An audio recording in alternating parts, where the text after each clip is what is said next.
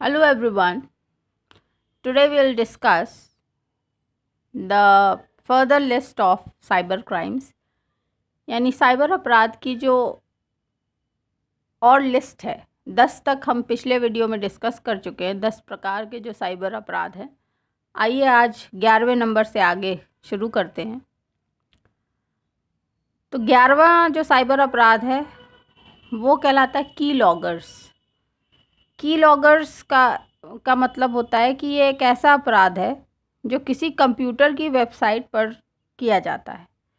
यह तब किया जाता है जब कोई व्यक्ति अपने कंप्यूटर का प्रयोग ऑनलाइन बैंकिंग या अन्य वित्तीय संघ व्यवहारों के संबंध में करता है। इसके लिए जैसे ही वह कीबोर्ड के माध्यम से संबंधित साइट पर जाता है और संबंधित संघ व्यवहार को संपन्न करने के लिए जो ही वह कीबोर्ड पर स्ट्रोक मारता है। वैसे ही वह उस स्रोत, वह उसे सेव कर लेता है। और इसके माध्यम से जो भी धनराशि इंटरनेट के माध्यम से भेजी जाती है, उसको ये चोरी करके लाखों करोड़ों का चूना लगा देता है। ऐसा अपराधों की संख्या दिनों दिन बढ़ती जा रही है और संपूर्ण विश्व के लिए यह एक समस्या बनती जा रही है। फिर बारहवें नंबर पे आता है ईमेल फ्रॉड। ईमेल फ्रॉड क्या होता है? जब कपट का जो अपराध कंप्यूटर या इंटरनेट के माध्यम से किया जाता है तो इसे ईमेल फ्रॉड या कपट के नाम से जानते हैं। इसमें सामान्यतः ईमेल भेजकर कपट का अपराध कारित किया जाता है और ऐसे सैकड़ों घोटाले नाइजेरिया आदि में किए गए हैं।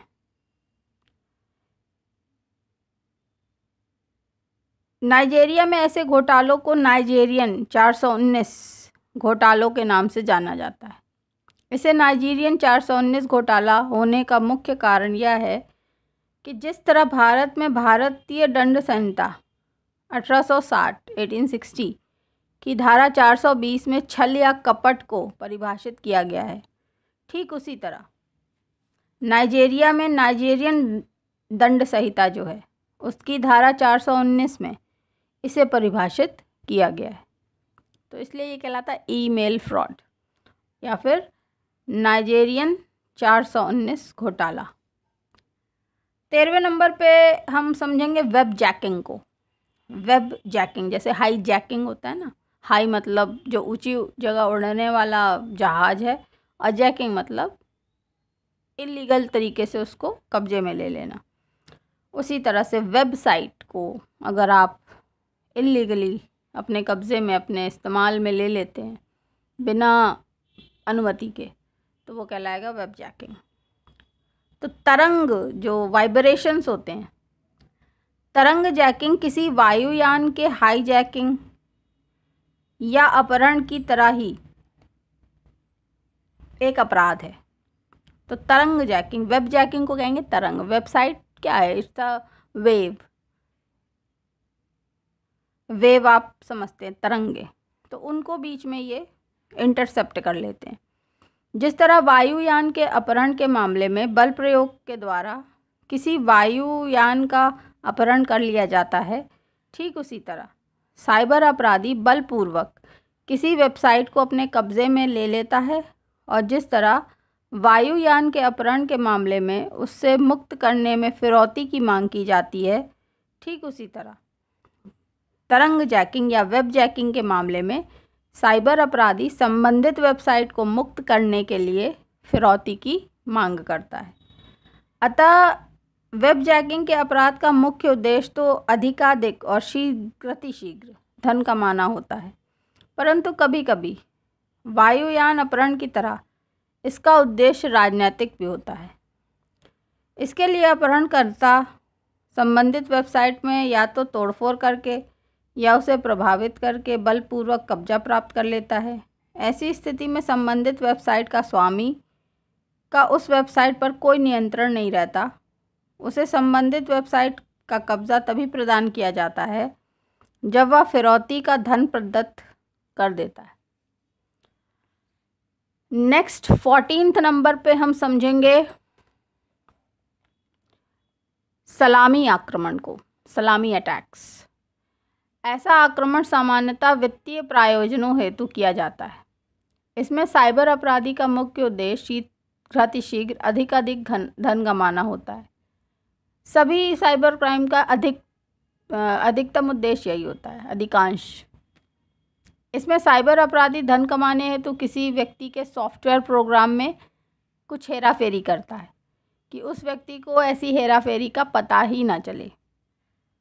जैसे मान लीजिए यदि किसी बैंक का कर्मचारी बैंक के सर्वर में ऐसा प्रोग्राम डाल दे कि उस बैंक के प्रत्येक ग्राहक के खाते में कम से कम दो रुपये प्रति माह की कटौती हो और ऐसा करके वह रकम उस व्यक्ति के खाते में जमा होती रहे तो ऐसी सूक्ष्म कटौती का किसी ग्राहक को आभास नहीं होगा और उस कर्मचारी को सभी ग्राहकों से कुल मिलाकर एक अच्छी खासी रकम प्राप्त होती रहेगी। ऐसे आक्रमण को सलामी आक्रमण के नाम से जाना जाता है। पंद्रहवें नंबर पे हम बात करेंगे denial of service attack D O S attack कहते हैं इसको। सेवा से इनकार आक्रमण। इस इस आक्रमण का नाम है सेवा से इनकार denial of service D O S इस प्रकार के अपराध में, साइबर अपराधी किसी कंप्यूटर की सामान्य क्षमता से अधिक मात्रा में निवेदन प्रवेश करा देना है, जिससे उस कंप्यूटर में ओवरफ्लो की स्थिति पैदा हो जाती है और जिससे कंप्यूटर काम करना बंद कर देता है। ये वैसे ही है जैसे ईमेल बॉम्बिंग जैसा कि बहुत सारा डाटा, बहुत सारा डाटा अचानक से तो जो मेमोरी है वो भर गई, या जितना उसकी क्षमता है वो पूरी हो गई, जो साइबर स्पेस है वो ओवरफ्लो हो गया तो बस कंप्यूटर काम करना बंद कर देगा। जिसके परिणाम स्वरूप उस कंप्यूटर के अधिकृत उपयोगकर्ता को वह सेवा प्राप्त नहीं हो पाएगी, जिसके वे हकदार हैं। इसलिए इस अपराध को सेवा का इनकार यानी डिनाइल ऑफ़ सर्विस अटैक के नाम से जाना जाता है। सिक्सटीन नंबर पे है भाई, कोरोना वायरस कोविड नाइन्टीन चल रहा है और हम बात कर रहे हैं वायरस या वर्म अटैक की साइबर क्राइम के संबंध में।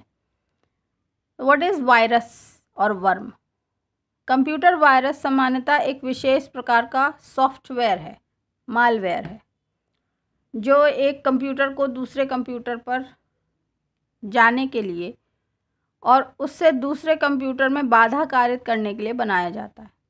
ये वायरस किसी व्यक्ति के कंप्यूटर से डेटा को बेकार कर सकते हैं, हटा सकते हैं और उसके कंप्यूटर से सभी प्रोग्राम को किसी अन्य व्यक्ति के कंप्यूटर पर ले जा सकते हैं। इसको सामान्यतः ईमेल संदेश या तत्काल संदेशीय संदेशों के माध्यम से कंप्यूटर से दूसरे कंप्यूटर पर ले जाया जा सकता है। ये ऐसे सॉफ्टवेयर प्रोग्राम हैं जो सामान्यतः किसी प्रोग्राम में या किसी फ़ाइल में या किसी सॉफ्टवेयर में, ग्रीटिंग कार्ड या ऑडियो, वीडियो, फ़ाइल इत्यादि में छिपे रहते हैं। जो ही वह कंप्यूटर ऑपरेटर अपने कंप्यूटर को खोलकर उस प्रोग्राम, फ़ाइल या सॉफ्टवेयर में जाता है त्यों ही ये सक्रिय हो जाते हैं और अपना काम प्रारंभ कर देते हैं।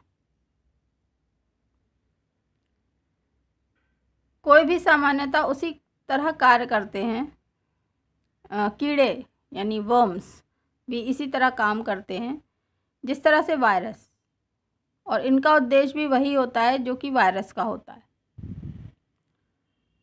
सबसे पहला कंप्यूटर वायरस पाकिस्तान के लाहौर स्थित शहर में स्थित दो बंधुओं, वासिद फ़ारूक अलवी और अज़मत फ़ारूक अलवी द्वारा बनाया गया। इस कंप्यूटर का नाम ब्रेन था, परंतु इसे brain A U I U C, Pakistani Pakistani brain और लाहौर इत्यादि के नामों से जाना गया। इसको तैयार करने का उसका मुख्य उद्देश्य अपने मेडिकल सॉफ्टवेयर को दस्यता से बचाना था। इस बारे में जो वर्म्स के बारे में बात है कि मई 2000 में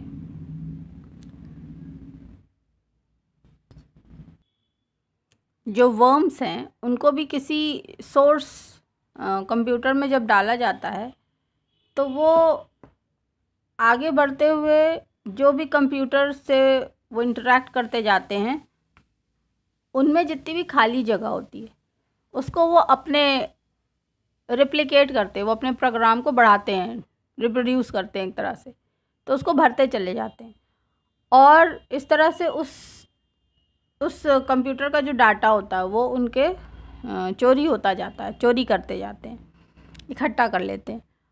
और इस तरह से करते करते जिन जिन कंप्यूटर्स में भी वो होते हुए गुज़रते हैं, वहाँ का डाटा वो चोरी कर लेते हैं और उन कंप्यूटर्स को शट डाउन करते हुए चले जाते हैं। तो ये वर्म्स का प्रारूप है कि वो मल्टीप्लाई करते जाते हैं। इसी तरह से मई 2000 में फ़िलीपींस निवासी जो स्नातक था ने बीबीएस लव लेटर, जिसे लव बग या आई लव यू इत्यादि के नाम से जाना जाता है, इससे लगभग 10 मिलियन डॉलर का नुकसान हुआ था। दिसंबर 2000 में विश्व सागर जो वर्ल्ड ट्रेड ऑर्गेनाइजेशन है, उनकी वेबसाइट पर कंप्यूटर वायरस का प्रयोग किया गया था। 2002 में मेलेसा कंप्यूटर वायरस का उपयोग व्यवसाय और शासकीय कंप्यूटर नेटवर्क तथा पीसीस पर किया गया था। इससे संपूर्ण विश्व में लगभग 10 लाख से भी अधिक कंप्यूटर क्षतिग्रस्त हो गए थे और लगभग 80 मिलियन डॉलर से अधिक का नुकसान हुआ था। 2005 में माइकल जैक्सन द्वारा स्वयं आत्महत्या कर लेने की खबर के साथ कंप्यूटर वायरस का प्रयोग किया गया था। सन 2006 में कंप्यूटर क्राइम करते हुए अमेरिकी नागरिक को पकड़ा भी गया था। तो आज की डेट में तो ये एक आम बात है। और इससे बचाव कैसे किया जाए, इस पर हमको आगे सोचना, बढ़ना और करना है। जिसके लिए ये लेसन्स आपके सामने हैं। आप इसको सुनिए, सीखिए, आगे बढ़िए और फिर सावधान रहिए। सत्रहवें नंबर पे आता है डाटा डिडलिंग। जो शब्द डिडलिंग है, उसका मतलब होता है ऐठना या तोड़ मड़ोड़ करना। यह भी एक प्रकार का सामान्य कंप्यूटर क्राइम है। इसमें या तो इनपुट के पूर्व या आने के समय या तो आउटपुट के पहले किसी कंप्यूटर के सॉफ्टवेयर में अवैध डाटा का प्रवेश करा दिया जाता है, या अपराधीकृत डाटा का प्रवेश करा दिया जाता है। इसके माध्यम से क्रेडिट तालिका यानी इन्वेंट्री, ट्रांसक्रिप्ट्स, बैंकों इत्यादि को स्कूल की अनुलिपियाँ आदि को नुकसान पहुँचाया जाता है। सन 1996 में New Delhi municipal council electricity billing कपट का मामला है। ये एक एग्ज़ाम्पल है। अठारहवें नंबर पे है वेब डिफेसमेंट। डिफेसमेंट का मतलब होता है चेहरा ख़राब कर देना। यह एक ऐसा अपराध है जिसमें किसी कंप्यूटर की वेबसाइट के ओरिजिनल होम पेज को हटा करके उसके स्थान पर दूसरा पेज प्रवेश करा दिया जाता है। ऐसा सामान्यतः साइबर अपराधी द्वारा किए किसी मानहानि या संबंधित कोई अश्लील लेखन सामग्री वेबसाइट पर डालने के लिए किया जाता है। उन्नीसवें नंबर पे आता है साइबर स्टॉकिंग। साइबर स्टॉकिंग वह अपराध है जब किसी व्यक्ति को तंग करना या परेशान करने के लिए किया जाता है। ऐसा इंटरनेट, ईमेल या अन्य इलेक्ट्रॉनिक कम्युनिकेशन डिवाइसेस इत्यादि द्वारा किया जाता है। इसके माध्यम से लोगों को तंग किया जाता है, परेशान किया जाता है और धमकियाँ दी जाती हैं। इसमें साइबर अपराधी तंग या परेशान करने वाला कॉल करते हैं और संदेशों को भेजते हैं, जिसका मुख्य प्रायोजन संबंधित व्यक्ति को धन प्राप्त कराना होता है। इस तरह का सबसे पहला अपराध कैलिफ़ोर्निया के 50 वर्षीय युवक द्वारा एक महिला को परेशान करने के लिए किया गया था। बीसवें नंबर पे आता है, इंटरनेट टाइम चोरी, internet time internet time theft.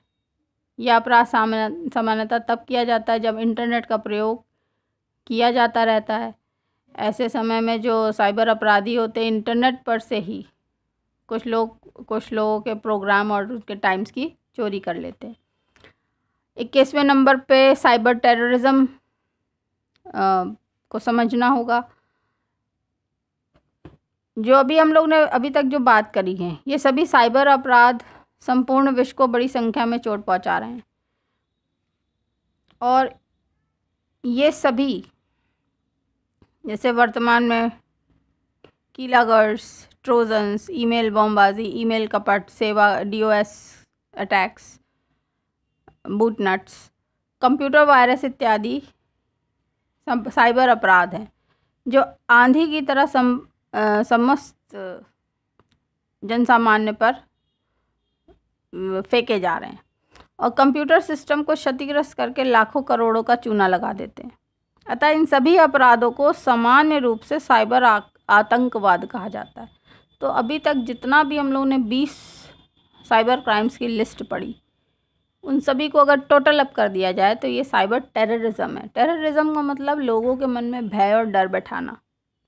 तो इन सभी तरह के अपराधों को अगर आदमी अंजाम देता है तो वो एक तरह से अपना फ़ायदा और लोगों के मन में भय, डर और उसको परेशान करता है, जो कि टेररिज्म टेररिज्म में अपने ही में शब्द आता है टेरर टेरर माने होता है भय।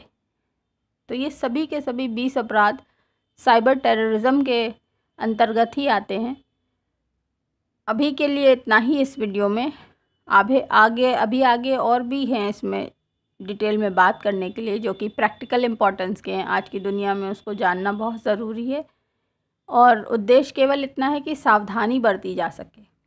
कम से कम डरने, टेररिज्म जो फैल रहा है तो डर को दूर करके जब हम अवेयर होंगे, जानेंगे तो हम डरेंगे नहीं। तो इन वीडियोस का मीन मतलब भी इतना ही है कि आप सावधान रहें और आप डरें नहीं। अगर ऐसा कुछ होता है तो आप उससे सामना करने के लायक हो जाएँ। आपको रास्ता पता हो कि आखिर ऐसी स्थिति में करना क्या है। और अपने जीवन को सुरक्षित और सुखपूर्वक जी पाएँ। So guys this is all for today's video in next video will talk more about another types of cyber crimes and their legal provisions so bye bye for now stay blessed